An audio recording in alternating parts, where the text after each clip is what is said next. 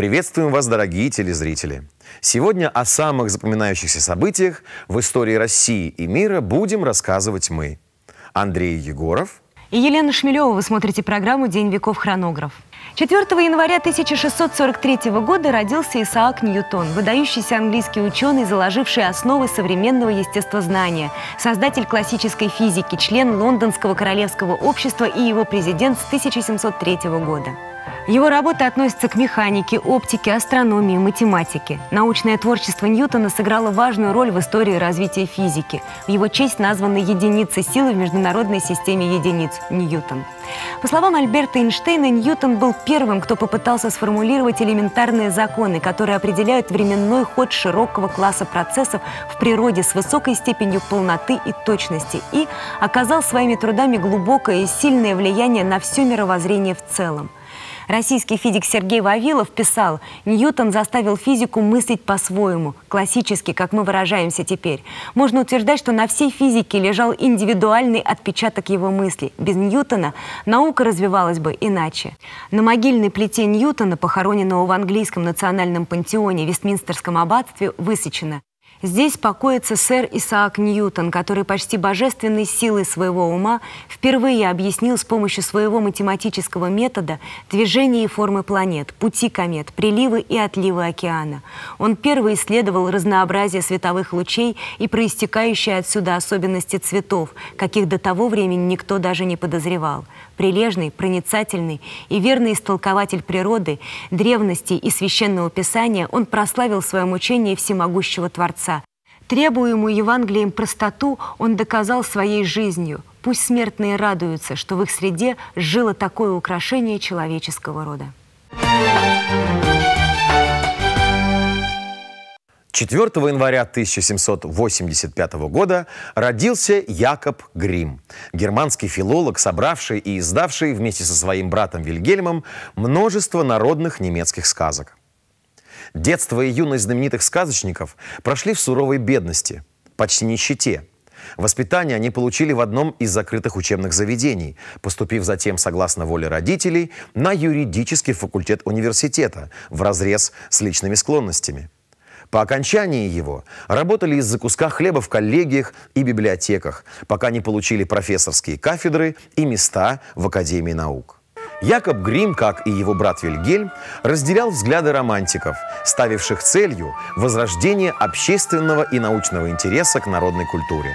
Большой заслугой братьев явились издания «Детские и семейные сказки» и «Немецкие предания», которые обогатили немецкую и мировую литературу. В сказке братья открыли одну из древнейших форм человеческого творчества, один из драгоценнейших памятников народного духа, отражение древнейшей мифологии народа и его древнейшей истории. В сказаниях они выявляли пережитки исторических преданий. Они особенно настаивали на необходимости точной, неприкрашенной записи сказок. Заметив многочисленные параллели, существовавшие между сказками различных европейских народов, Якоб Грим выдвинул гипотезу, по которой эти сходные черты являлись общим наследием этих народов от их единого народа-предка. Влияние сборника сказок братьев Грим на развитие фольклористики огромно. Именно с этого сборника начала свое существование наука о сказке как особый отдел изучения устной словесности – Братья Грим были не только замечательными сказочниками, но и учеными-филологами.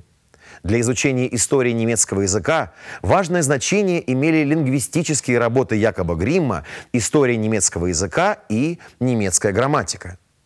Великие собиратели живого великонемецкого языка братья Грим сделали для родной речи то же великое дело, что и их собрат по духу Владимир Даль для языка русского – они впервые систематизировали разговорную речь, дав путевку в высший свет множеству слов, считавшихся прежде простонародными.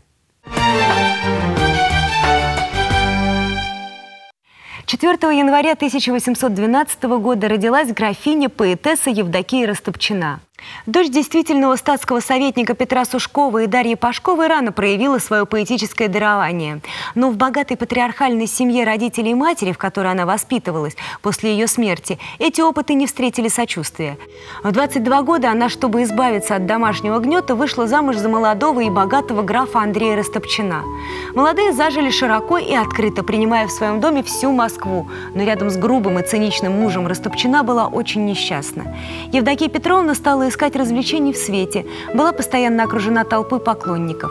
Рассеянная светская жизнь, частые и продолжительные путешествия по России и за границу не мешали графине с увлечением предаваться литературным занятиям. Ее произведения регулярно появлялись на страницах всех альманахов и журналов в течение более 20 лет. Ее дарование было скоро признано первыми литературными силами того времени.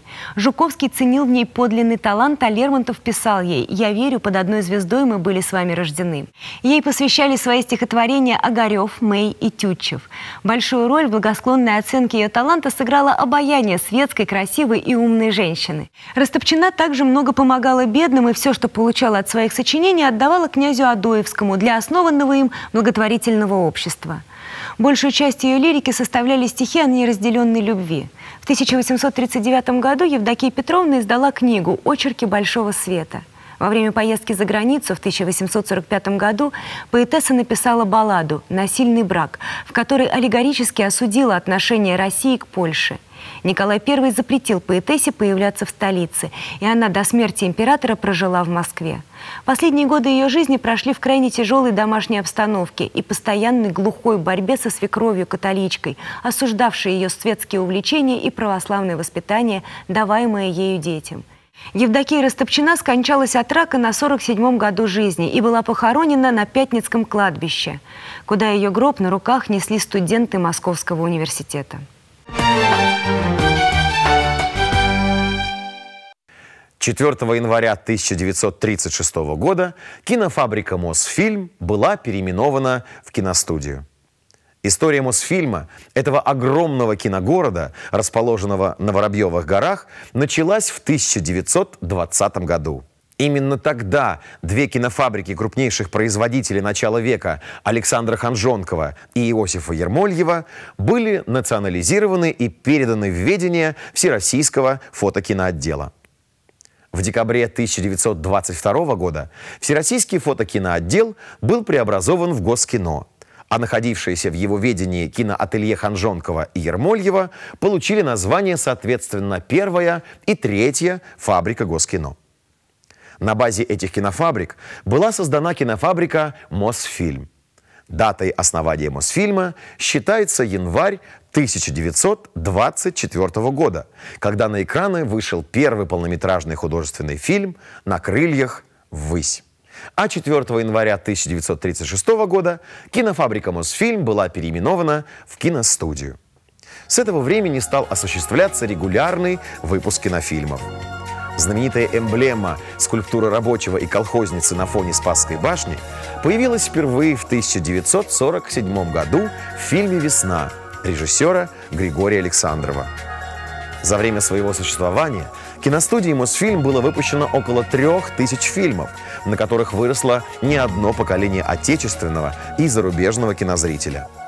Многие из этих картин вошли в золотой фонд мирового киноискусства и завоевали награды на многочисленных кинофестивалях у нас в стране и за рубежом.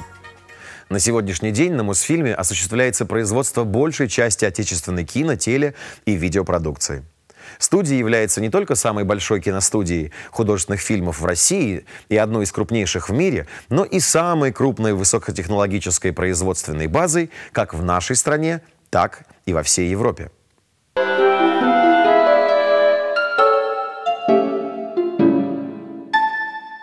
А теперь мы расскажем вам о погоде в этот день в разные годы и века. 4 января 1660 года в Астрахани произошло сильное землетрясение.